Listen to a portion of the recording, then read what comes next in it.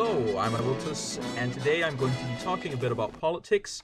But I decided that uh, since um, this is going to be relatively dry, I might as well have something on the screen to uh, keep people entertained. So that's what uh, I'm going to do today. Uh, let me just uh, hide this here so that people don't see what I'm doing there. There we go. But anyway, what I'm going to be talking about is um, the idea of how should I say it? Uh, well, I guess a good way to explain it is a, a political philosophy to to actually explain uh, which type of political philosophy is my actual political philosophy. Um, in, in the sense that uh, if someone were to ask the question, which type of government uh, would you want to have or, or establish or live under, uh, or which type of government do you think would be better? Uh, I think that uh, I would um, like to talk a little bit about what my answer to that might be. So, I believe that a good place to start is the question of should we have a government at all? And and uh, I, in my opinion it, it is a good thing to have a government. And you may ask why. Well th- there are certain things that you can do uh, in a government that uh, may be very important that you wouldn't really be able to do very well without a government and uh, one example would probably be, if you think about it, uh, the idea of common defense. That's probably the, the biggest idea here. Because uh, if, if you think about what if an external threat, let's say another government, because it, if you're going to be an anarchist, then and someone else who's not an anarchist tries to invade you, what are you going to do?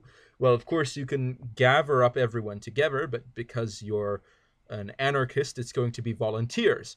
And if, uh, let, us say, uh, you enter into a battle, what's going to happen? You're going to need to organize uh, into a command structure or let's just say not having a command structure is going to be very hard in a battle or just any crisis really but so you're going to have to organize into a command structure, and if somebody doesn't like the command structure that you're trying to organize into, then you can't really do anything about it. And if someone gets scared and runs away from battle, you can't label them a, a deserter because, let's be honest, what are you going to do? You're going to say, I am going to punish you for running away uh, when you could have helped us win this battle. Uh, you're an anarchist. It, it, you can't do that. So there you go essentially not having any government means that you do not have the means to defend yourself well in case of a crisis. Not just um, not not just an external threat of someone invading but uh, just other things such as justice. Um, I think justice is important, and if someone does bad things, who's going to punish them? Uh, well, you could say that someone that if someone does something bad, it'll be something that's obviously bad, and someone will punish him. But then you may ask, well, who's it gonna be? Because even in an area where you do have laws, you have a situation where someone can get attacked on the street, and a dozen people will hear it and they'll walk by and they won't do anything. So I think it's important to at least at least have someone that can be held responsible to do something when something bad happens. And I think that that's a, a generally good thing. And the only way you can really have that is well the only way you can consistently have that let, let me be fair to the anarchists here because i know that these things are possible without a government but they're just less likely and a lot harder. So the only way to consistently have that is to have a government. So that that's generally why I'm not an anarchist. Um, there you go. But uh, then the question concerns leadership, Uh, if you're going to have a government, you could try to have a, a sort of a, a common system, um, a, a, common government where everybody has equal authority uh, as. Um, uh, but of course, and then the majority rules. But of course, you I, I don't think that that's very good because again, if you end up going into a battle, um, you're gonna want a leader, or and you're going to want to have leaders to deal with crises, and having everyone have equal authority, uh, means that you don't really end up having that much of a quality uh, when not, not equality quality. And that actually gets me to my next point quality of leadership. Because of course uh, we I, I think we've pretty well established at this point or at least i have to myself. And i know people will dispute what i'm saying but that's fine okay? We can we can be respectful. But i think one thing that's important is not only having leadership uh, in a government because I, I, I, go to the idea of government, then leadership, then what what's next? We need quality of leadership because you don't necessarily want just anybody to be a leader. Uh, you could choose your leaders randomly, and that's what some people suggest. But I think it's better to have consistently good leadership than to have random leadership where it might be good and it might be bad but I'm thinking, uh, but uh, the the idea of randomized leadership, um, if it's fully randomized, is that on average people are going to be relatively good, and I don't see that as being true. I think that just like with any other field of experience, um, on average, people are going to be bad at it. And and what do I mean by that? Well, you, you talk to the average person, they're not going to be good at neurosurgery. The average person isn't trained in that. And e- even if you are trained in that, there there's still levels of quality when it concerns neurosurgery. Um, and then if you think about and, and I think the same is true in politics. And you may think that this is uh, an argument for having career politicians. And I'm going to be honest, it is an argument for having career politicians. I think it's better to have someone that is trained and that uh, has experience than to have someone that isn't trained and doesn't have experience. But uh, so uh, ultimately, what I'm saying is that we need to have a system of government that selects for people that are actually good at governing. And I don't think that randomly picking people is the solution to that. So then comes the next point. If we want to select someone who is good at leading, then the question becomes how do we select that person? What what method are we going to use to select? And some might say, well, it's education, obviously. We're going to have a political science degree and we're going to have, uh, or a diplomacy degree, or whichever part of government you're going into. And we're going to have people who are trained in that degree. And then we're going to pick as to whoever is the most uh, accomplished among the individuals who are trained in that uh, political science. And I think the problem that arises here is that I fully acknowledge that there are many people that are good at things that don't necessarily have a degree in what they're good at.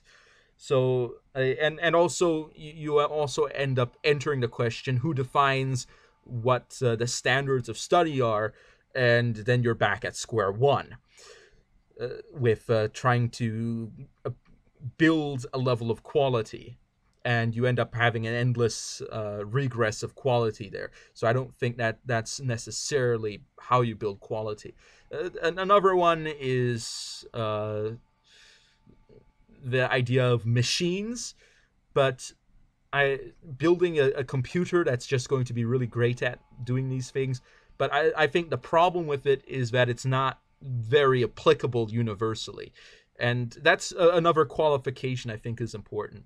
That if you're going to say that a system of government is good, it should be good in more than one situation. In, in other words, I think that uh, if a government is going to be good, it should be good not only in the information age, but also go back to the Neolithic, okay?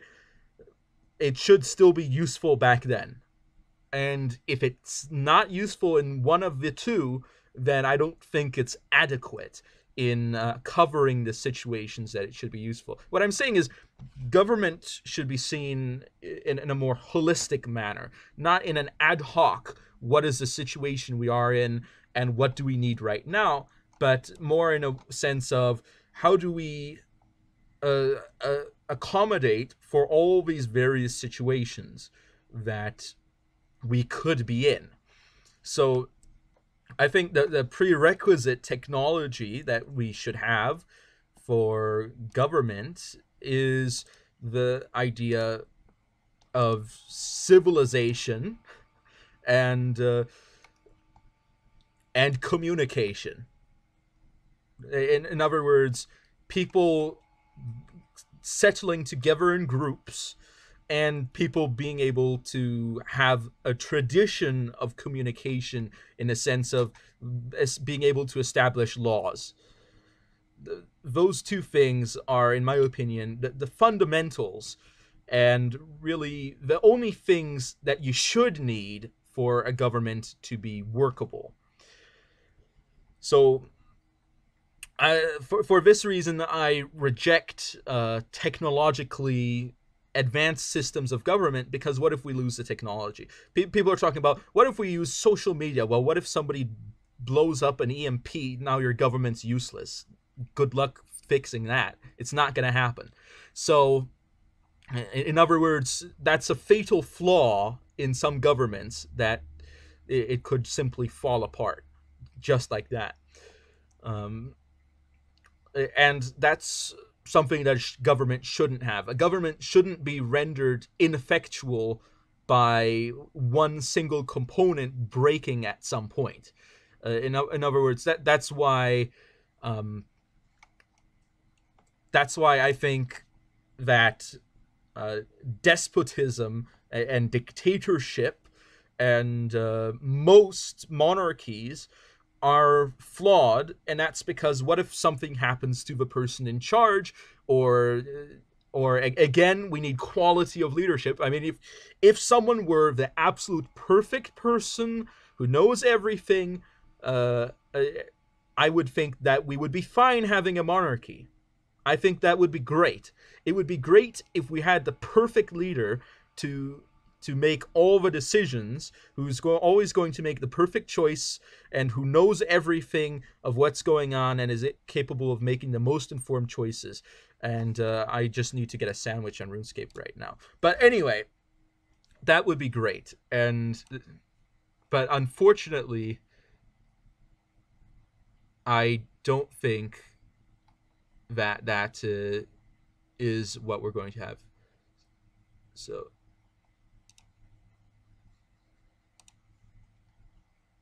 So anyway, uh, uh, wonder if anybody noticed I got the random event wrong. But anyway, I'm thinking the so I've already ruled out the idea of monarchy and and lottocracy, which is uh, government at random, and you may ask if we do not have uh, a particular method of determining who is qualified, what do we do?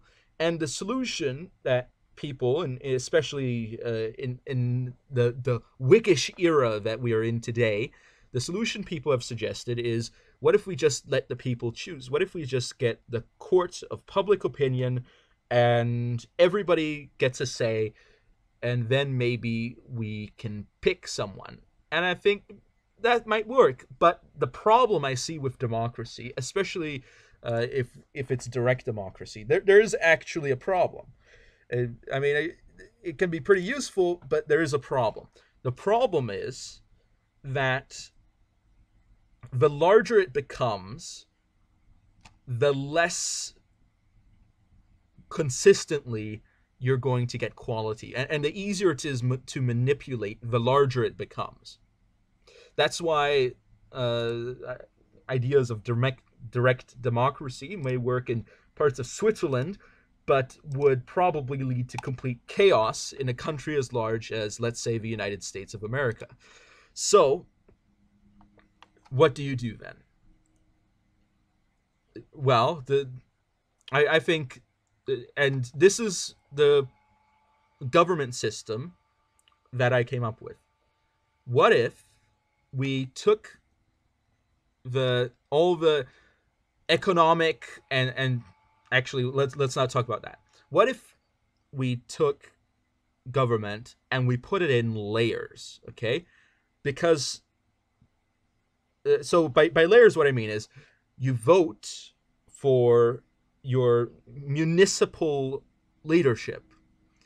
And why would you vote for your municipal leadership? Well, because they are the ones that are closest to you and are accessible to you.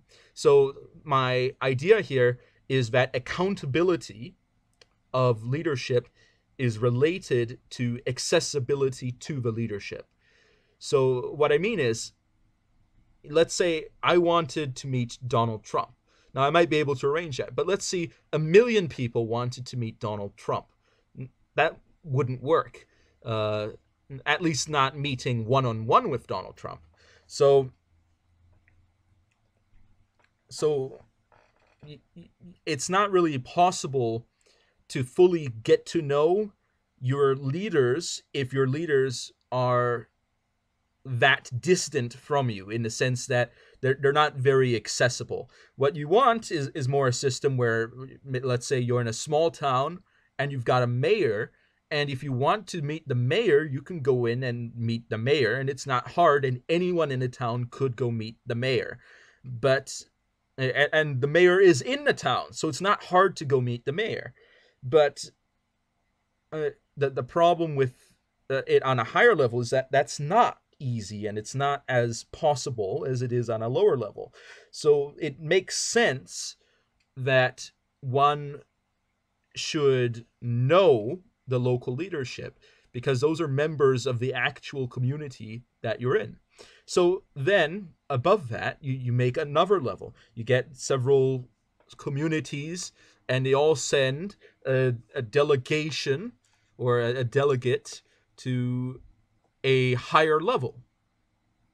And then the the person on a higher level sends uh, uh, they, they all make their own leadership and they go to an, another higher level above that and, and you keep going and you keep going uh, and of course you need to make sure that it's all divided so that it's manageable so if any particular level becomes too wide, it needs to be split and then it becomes manageable again.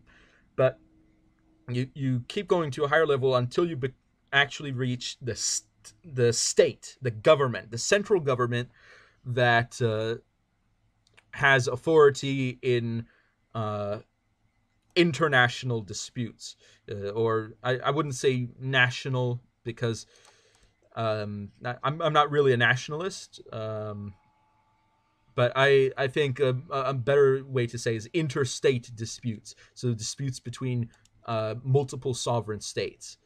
Um, so let's uh, let's get a bit deeper into that.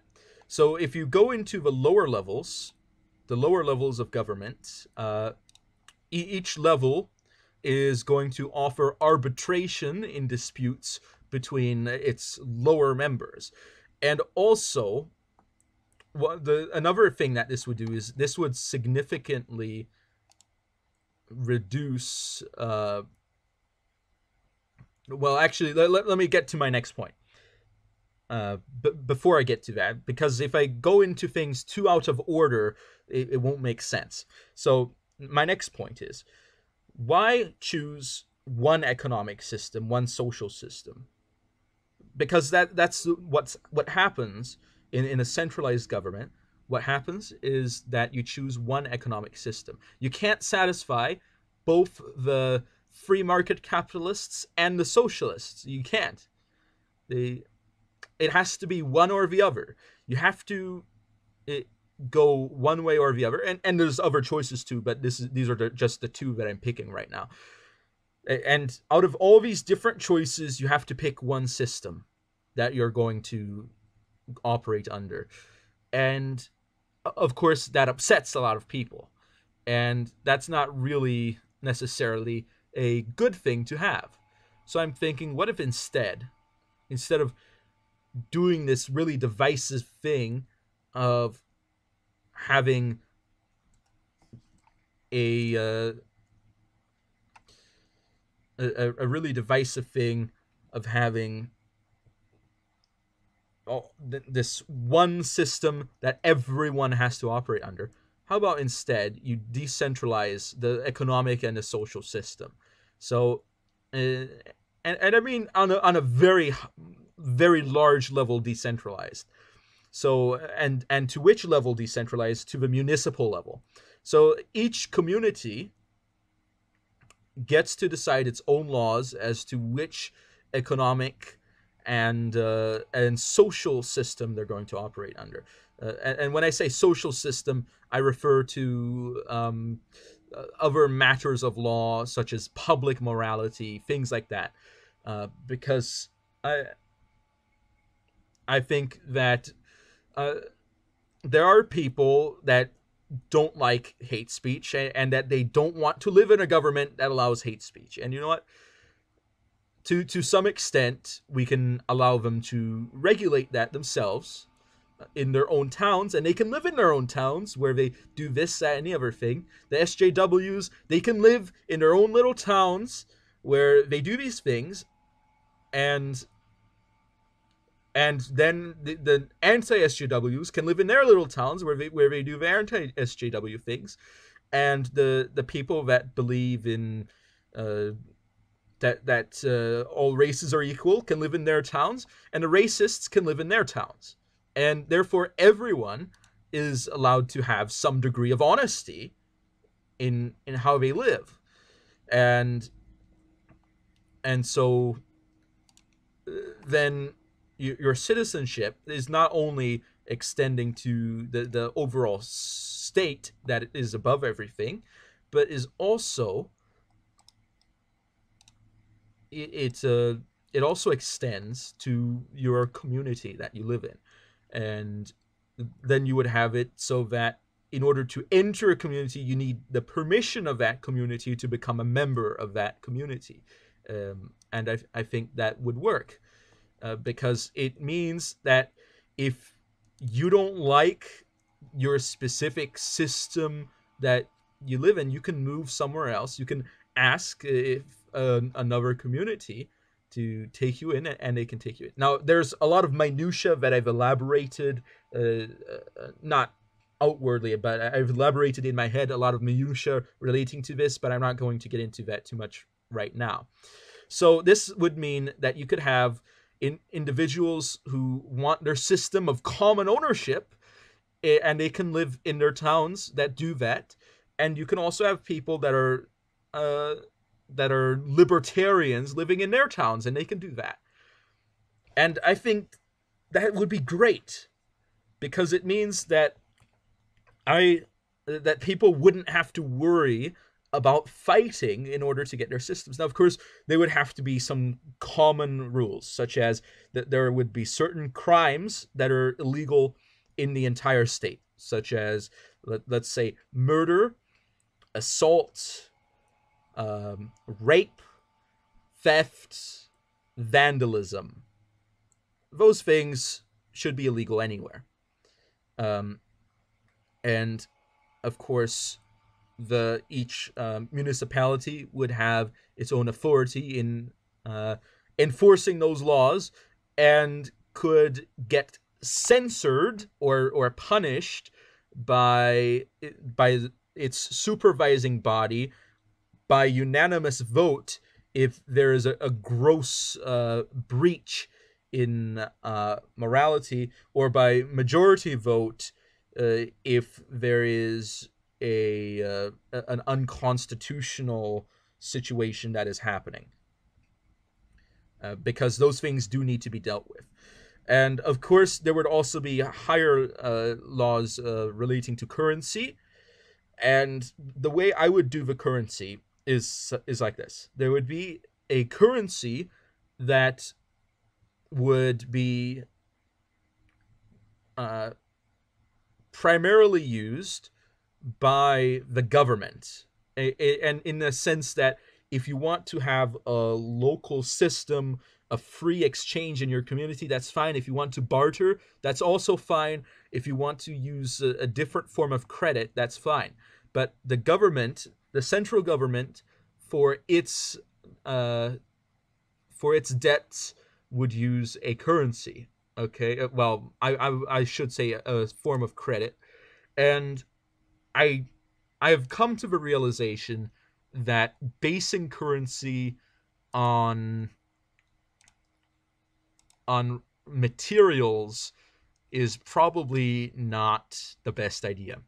So instead, I decided to base the currency on a simple proportion of the population uh, inside of the state. In other words, the government would ensure that the currency is controlled by its own scarcity, therefore making the, the credit its own commodity. And that would be ensured by uh, expanding the currency to fit the size of the population. Uh, so let's say it's a million units of currency per person, which may sound a lot, like like a lot, but uh, if you think about the idea of income inequality and the fact that this is primarily used by the government uh, for its own purposes, then it's not a lot if you think about it that way. So a, million per person, and a, a, new person becomes a citizen, then you you add a million more credit in, in circulation if people die uh, or if the population reduces, you need to re- you need to slowly reduce the amount of credit in circulation. If uh, if uh, if a physical form of a currency gets old, of course you replace it. So therefore, there would be a balance where the currency would be based on let me just see this for me. Okay. The currency would be based on the overall population and that way and it would have to be done constitutionally and that way you would not have to worry about runaway inflation because the government wouldn't be allowed to print more than they're allowed to have uh, in in the state. Not that the government would be allowed to print more money for themselves, but that the overall amount of money that exists in the country is therefore regulated. And I, I think that would be very good as opposed to other systems. Because uh, let's say uh, your money is based on gold. If someone suddenly finds a gold mine your currency crashes. There you go. Or if someone gets really stingy with the gold and uh, and and buries a lot of it then uh, there's suddenly a, a huge amount of deflation. So and you don't really want that form of instability in a, a form of credit. You want it to have an amount of consistency in its value. So the way that taxation would work is that taxation is divided to the municipalities based on their populations. In other words, what what happens is the central government makes its budget. And then it, the the the budget is divided to each municipality based on the number of people in it. Or to be more accurate a, way would be to uh, divide the budget by the total population and then multiply by the size of each municipality so what would happen then is that by the way I this is not taxed on every individual, and the my earlier thing about the currency was not talking about universal basic income either. This is not on an individual basis, is what I'm saying. Uh, it, it's just that the taxation is divided equally based on on the population.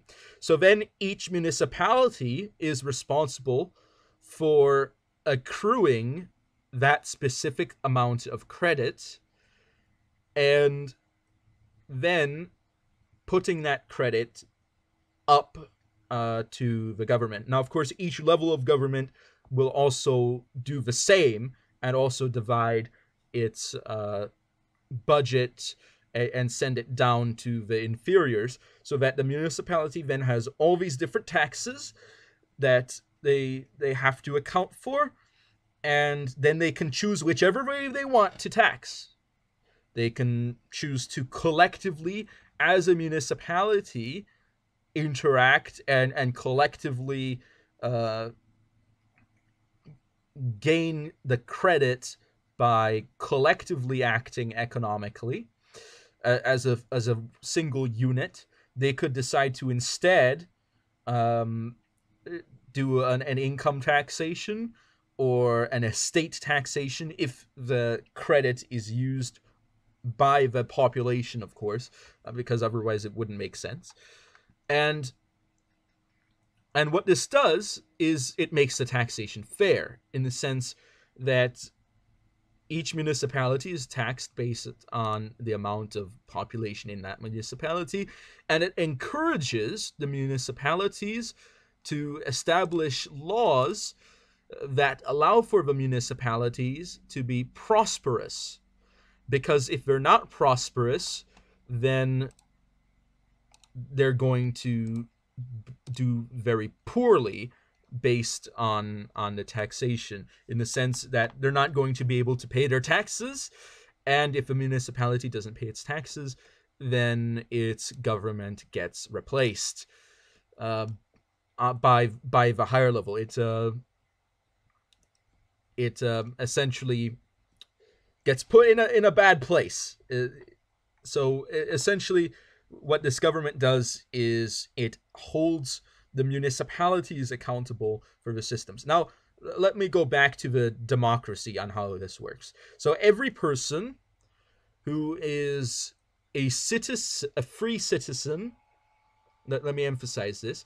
Every person who is a free citizen is allowed to vote on their municipal elections. And these elections have to be done in a way that it is possible to initiate the election by a vote of no confidence, that everyone is allowed to have free speech in relation to whatever is going on in, in any issue that is even tangential to the election because obviously making threats isn't necessarily considered free speech in many areas or, or is, is not considered valid free speech. Or yelling fire in a crowded location in, in many places is a crime. And uh, I, I wouldn't say that i would disallow them to declare such things to be crimes. But anything that is tangentially relevant to uh, an election is free game. So you, you can fully criticize politically, uh, economically, and socially because those are the the aspects that are determined. And and of course, as I said earlier, since the social and economic laws are fully put into the authority of the local government, it makes sense that people would be involved in their local governments, and it's easy to get involved because the leadership doesn't have to divide their attention between millions of people. In, in other words, if if there's a large city, it would have to be divided into subunits, is what I'm saying, uh, as well. But anyway, the elections should be it should be possible to initiate the voting at any time in a sense uh, of course within reason. There, there should be of course maybe you, could say that there we could determine a specific amount of time to limit uh, how much uh, people are uh, allowed to uh, how, how frequently people are allowed to hold elections because otherwise it would become a total mess additionally whichever positions are elected should also be capable of fully replacing whichever positions are not elected. In other words, if there's an appointed position in the government, the elected positions of the government should be able to replace them because otherwise it puts it, it reduces the power. And then this also filters up to the higher levels. There should be a, a capability of making votes of no confidence to the higher levels of government from the lower levels of government, which means that in short order you should theoretically be able to replace the entirety of the government uh, sim- simply by the votes of the people. Uh, and uh, by by then the people putting their wills in their superiors who put their wills in their superiors. And I think the system of having tiered layers of government ensures good leadership because if you have the local leaders that you know and you trust, and how do you know you can trust them? It's because you know them because they're in your community. Uh, because that's really, in my opinion, the best way that you can ensure that quality is created on a democratic level. And they then have people that they trust that they send to the higher levels. And those people then being politically of expertise have people that they trust that they can send to higher levels. Uh, and what this creates is a filter that ensures that the highest levels of government are the most trusted individuals.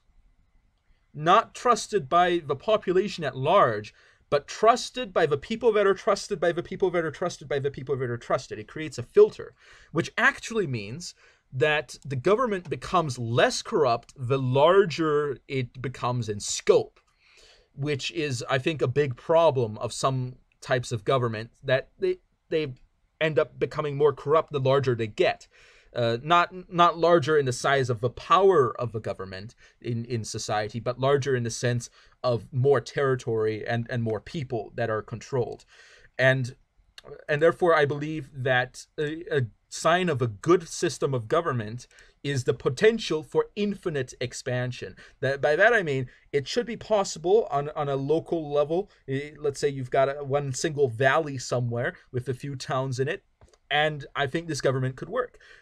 And it should also be possible on, let's say, a hypothetical intergalactic level. There you go.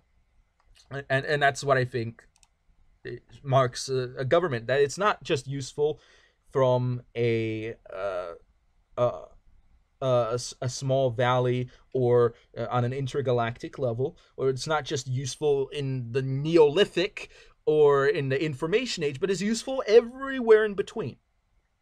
And therefore, you don't need to change the Constitution. So ultimately, what I what I'm saying is there should be a, a Constitution that you don't need to change it.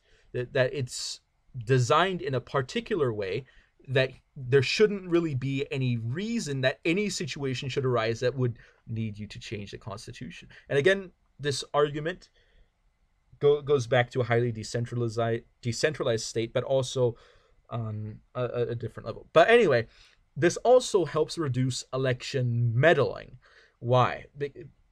and by meddling, what am I referring to? I'm not talking about uh, fraud in, in elections. I'm not talking about people uh, high up in the government messing things up. What I'm saying is the media and uh, propaganda and things like that. That's a lot less effective if the people that are making the decisions, uh, uh, especially in relation to voting, know the people that are voting for. In other words, it's it's hard to lie about someone that everybody knows personally. It, it's hard to get away with it. Well, it's harder. Let, let me be fair here. It is still possible, but it's harder to get away with such a lie, and that's means that lobbying uh, becomes less powerful. It means that the media ultimately has very little manipulation because this is a problem with large scale democracy. It's that large medias have a large amount of influence, which means that if the the people collectively have a decision to make on a very large scale, let's say for example the president of the United States of America, it's very easy for them to be manipulated and it's very easy for them to have misinformation given to them. And therefore, it's possible to game the system by using a system of information, which is a lot more difficult to do when you actually know the people you're talking about. And of course, the, the mass media has a lot smaller effect if the people who are in the higher levels of government are not actually directly influenced by the masses. In other words, if there's public outrage over something, I don't want the government to get on the outrage train because that's not productive. That's not good. What I want the government to do is to remain calm and to look through things in an intelligent manner and to see what's actually going on and and to maybe if there isn't actually a problem if it's something someone's overreacting to not do anything that would actually be a good thing. But uh, unfortunately, that's not always what happens. So there you go. So I I would be happy for people to tell me what they think about what I'm saying. Uh, maybe I should start making some charts uh, showing you exactly what I mean. So, because when it concerns this type of government, has it ever existed, this specific type? And what, what I'm talking about when I say specific type is I'm actually getting really deep into this in the sense that not just, oh, decentralized democracy, everybody uh, knows what that is. Well, not everybody, let's be fair here, but it's something that is a relatively common concept. But what I'm talking about is more on, on the idea of the municipalities have the the social and the um, economic authority. There's there is a central government that does have military authority, um, and of course, I would also say that each level of government would theoretically be allowed to have military authority as well. So you could have a, a, local military for what whichever reason, and there are situations where that is indeed useful uh, to have a local military that is not necessarily uh, reliant upon the central military.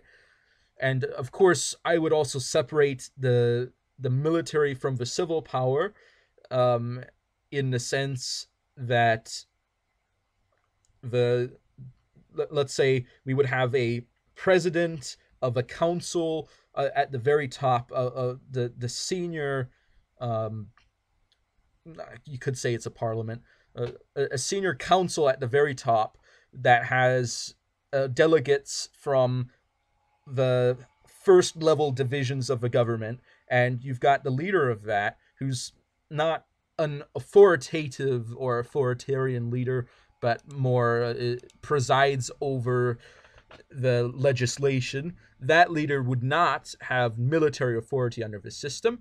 What would happen is the, the that t- senior council, the the superior council, would elect the the um, the military leader of the of the central government, and that military leader would not have civil authority. But what would then happen is, in cases of emergency, the military leader would be allowed to take over for a limited amount of time, after which that the the government the central government needs to regularly have to either vote to extend that power or it automatically is discontinued.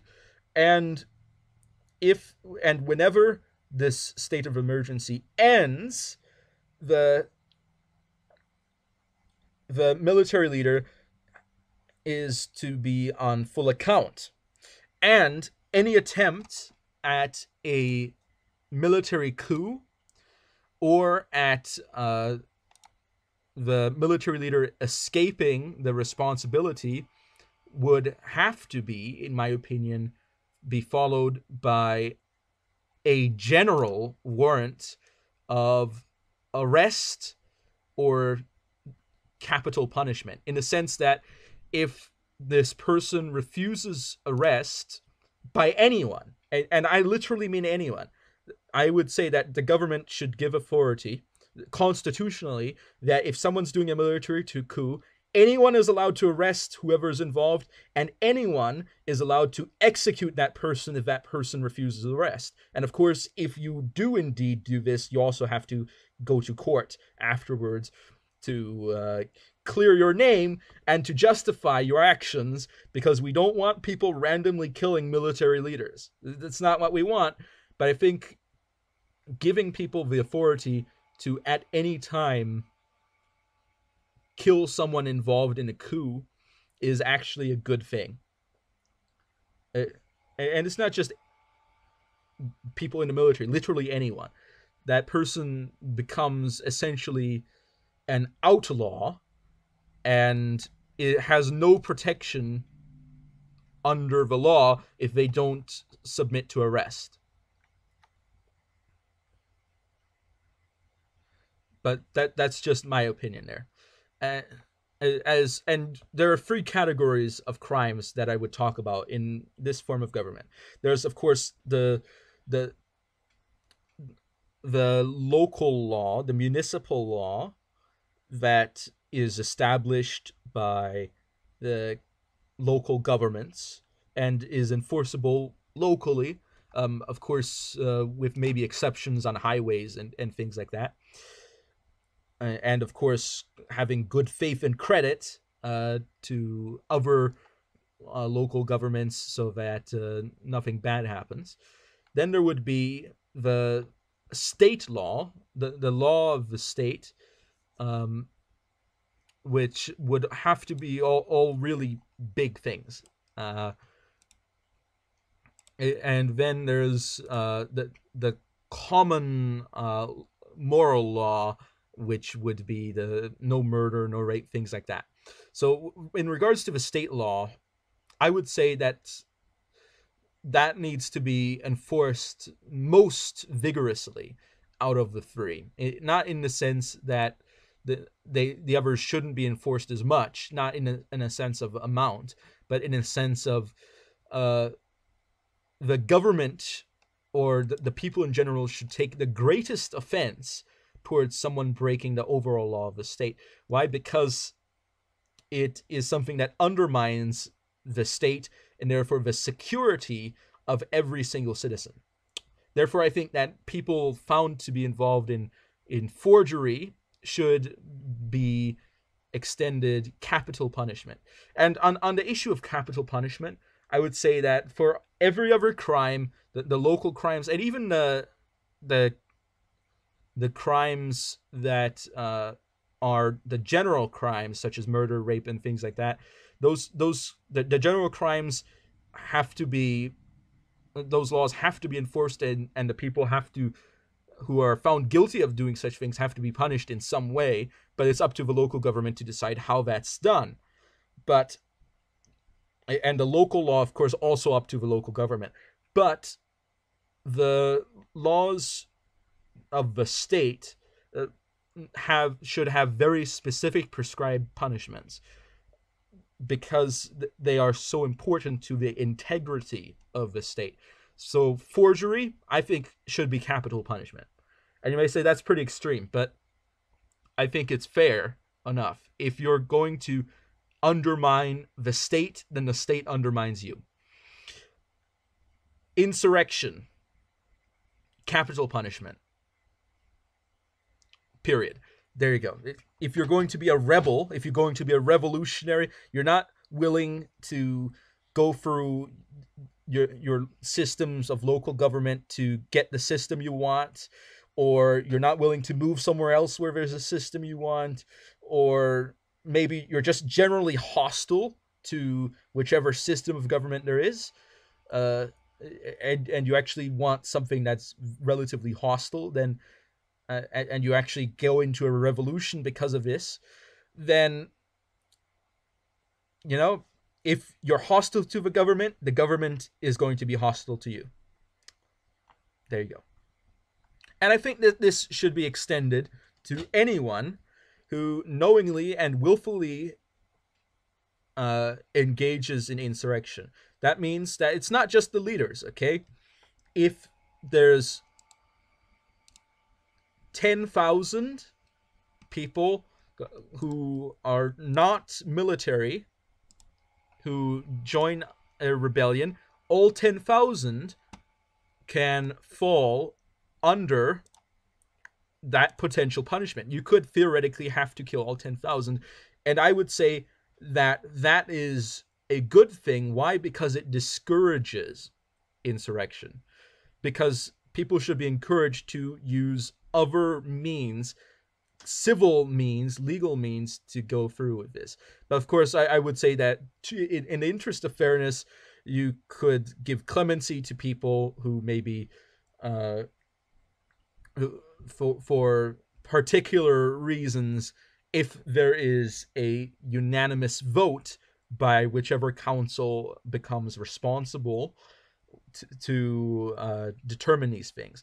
In other words, if if if you have a rebellion, everybody automatically gets the capital punishment unless the entirety of the government says no, we're not going to kill these people. And if you trust that the the high levels of government are trustworthy, then you shouldn't have a problem there. But anyway, I think that this government has a, good potential for success. And why does it?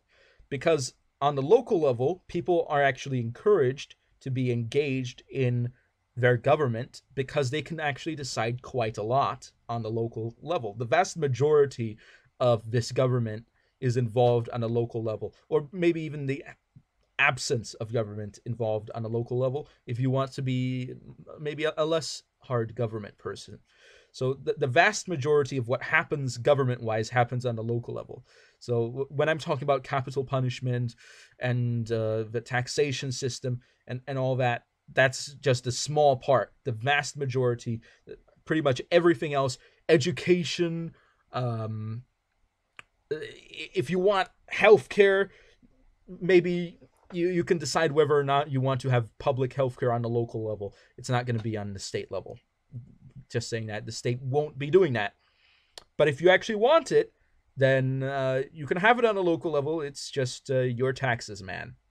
It's your taxes or or if you live in a more commune idea, then it's maybe not your taxes, but uh, there you go. So it's it's on the local level. There's a lot of authority and and a lot of accountability, and because the power is concentrated on the local level, the power holders will not be will, willing to easily give that up because uh, if if you think about it uh, in, a different way, the what happens in the U.S. is that theoretically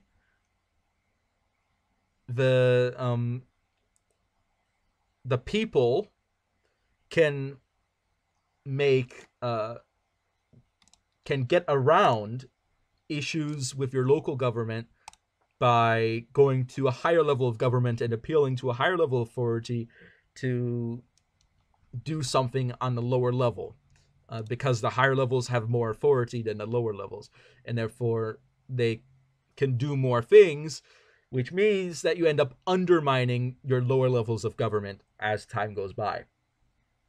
Uh, especially whenever anyone says the president should do this the president should do that. Whenever you're saying that you're undermining your state governments just so you know. Uh, unless it's something specifically that the president is supposed to do. But anyway getting back on track.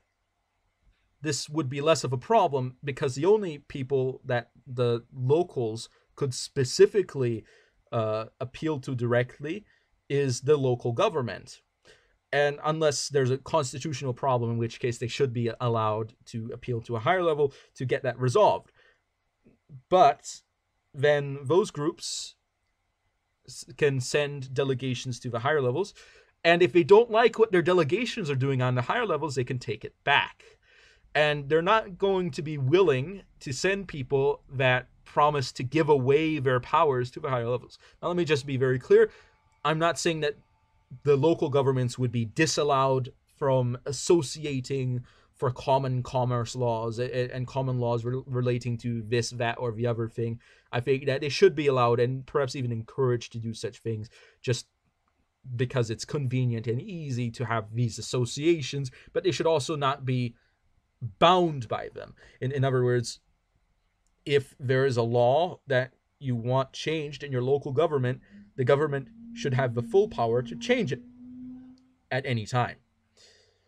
Un- unless, uh, well, maybe maybe you can put a statute in there that it might be three months at least, uh, just so that you don't get too crazy with uh, power shifts. But anyway, so if we assume that people want power, it's going to be hard for them to want to give it to the higher levels and etc and it, and it goes all the way up. And at the same time as i said the mass media manipulation would not be as easy on the higher levels of government as it is on let's say the, the common people. So that lends itself to another form of stability that i think that direct democracy does not have or even the the type of direct uh, representative sorry democracy that the United States has when it goes to elect the president that doesn't have that type of stability. It's still pretty easy to manipulate a lot of people through mass media. So and and this is a problem. But uh, then of course you've got all these different systems and what it means that every individual is taxed the same way uh, on the municipal level um, not not that every person is taxed individually but every municipality is taxed based on the proportion of their population. It means that they are in competition with one another which means you've got different social and economic systems in competition with each other which means that if you believe that uh, being against racism is a good thing, you're probably going to do better business with people that believe the same way and and people that are more diverse than people that are racist which means you're probably going to be more successful and more prosperous. And then they'll see that and then they will question their choices of ideology. And there you go. Uh, same thing with socialism and free market capitalism. You actually get a situation where you can actually work these things out to some extent. Of course there's there are limits to how far you can work these things out because you still need to be one country. And the the central government still needs to have authority to enforce the, the basic crimes which uh, are enforced on the local level but if the local level doesn't enforce it they can get punished by the higher levels. Um, so there you go on that note. So I, I think that this form of government would, in general, provide for better leadership than uh, representative democracy, than direct democracy, than hereditary monarchy, and then uh, uh, lottocracy, than a lot of systems of government. And uh, and I, I was going to talk about historical examples, and again, I can't really find any particular historical example of how this has happened in any way. I mean, there, there's some parts where in India there's some decentralization when it concerns elections uh, and uh, decision making, and I think that I think most of the stuff I've read about decentralized democracy is coming from India. And by the way, I, I, didn't come to this particular system by reading about it. I came to it by just thinking about all these different things. I, I tried to think about every single system, and this is what I decided. And also, I, I'm thinking the only thing that I think is remotely similar is the Soviet system uh, which sounds kind of weird because in practice it's not similar at all. But in, in the sense that what the Soviets and where the, word Soviet comes from is that they had eh, groups of people in local areas uh, that would elect leaders, and then they had infra orders among that, where they would then go to a, a, a larger, more regional Soviet etc. And I think that was a, a, maybe an interesting system. It would have been nice to see how, it worked out, but unfortunately, it it was taken over by the communists, uh, uh, by by the Bolsheviks and uh, various socialist groups who enforced a, a, sort of a ideological system rather than uh, what I would have preferred.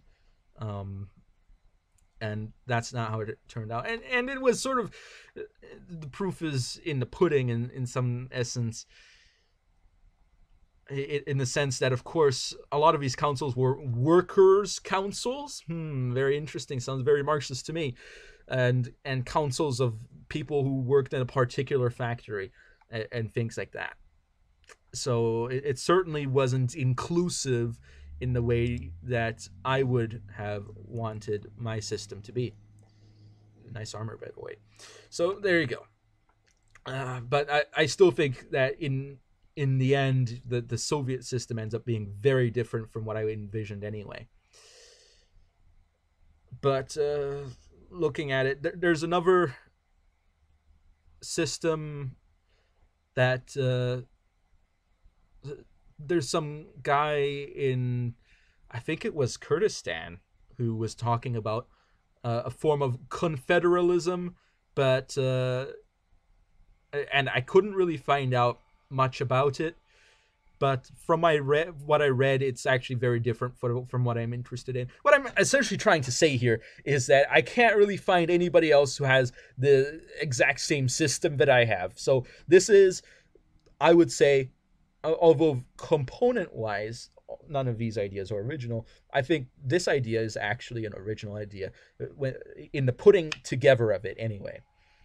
So tell me what you think. Do you think that it's maybe interesting or maybe not so interesting?